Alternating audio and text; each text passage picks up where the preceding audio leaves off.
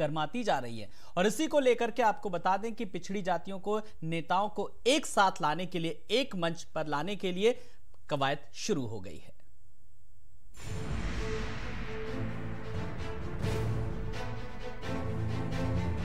उत्तर प्रदेश में इन दिनों पिछड़ी जातियों की गिनती का मुद्दा काफ़ी गर्म है। थोड़े दिन मामला शांत रहता है, लेकिन अचानक फिर से सियासी सुर्खियाँ बन जाता है। अभी कुछ ही दिनों पहले अखिलेश से लेकर ओपी राजभर समेत यूपी के कई पिछड़ी जाति के नेताओं ने ओबीसी जनगणना का मुद्दा उठाया था।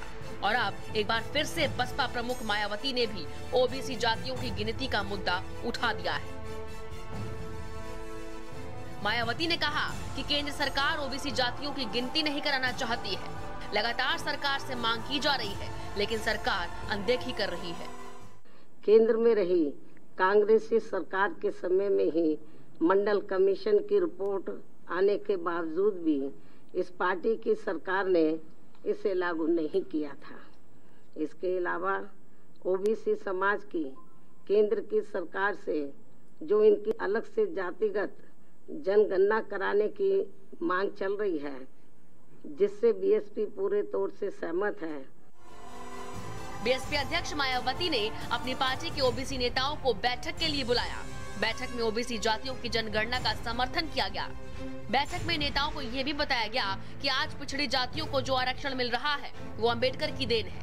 बीएसपी प्रमुख ने जाट और मुस्लिम समाज के प्रतिनिधियों के साथ भी चर्चा की और आरोप लगाया कि सरकार में अल्पसंख्यकों के साथ अन्याय हो रहा है और पार्टी कार्यकर्ताओं को संदेश दिया कि मुस्लिम और जाट भाइयों को पार्टी से जोड़ने के लिए अभियान चलाया जाए।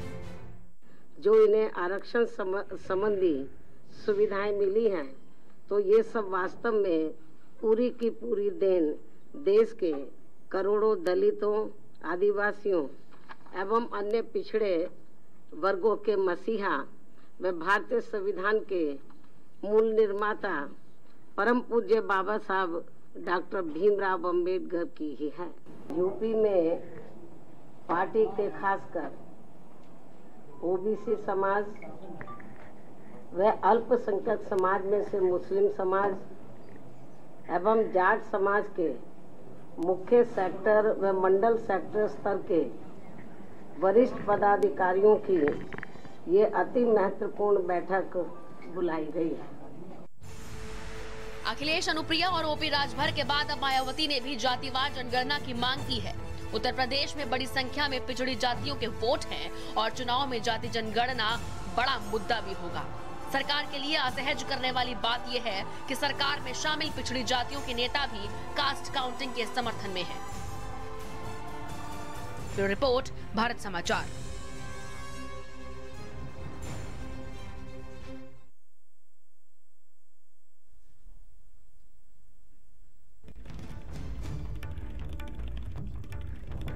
और बड़ी खबर यूपी टेट से जुड़ी हुई, सीएम योगी के निर्देश पर पीएनपी ने ही इस परीक्षा का आयोजन किया था। संजय उपाध्याय निदेशक, बेसिक शिक्षा। तो यूपी टेट मामले में बड़ी खबर, आपको बता दें।